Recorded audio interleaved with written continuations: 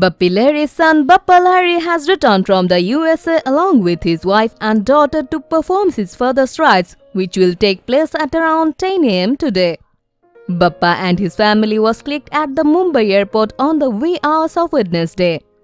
Bappa greeted a relative with an emotional hug at the airport. Bappi Lahiri's rites will be performed around 10 am. Bappi, the son Bappa and other relatives were seen carrying the remains of the singer to the truck.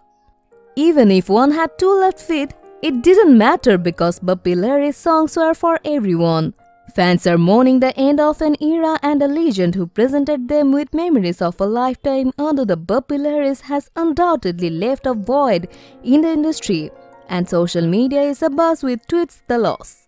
According to several media reports, it is stated that Bappi was hospitalized for a month now due to multiple health issues and was discharged on February 14, 2022.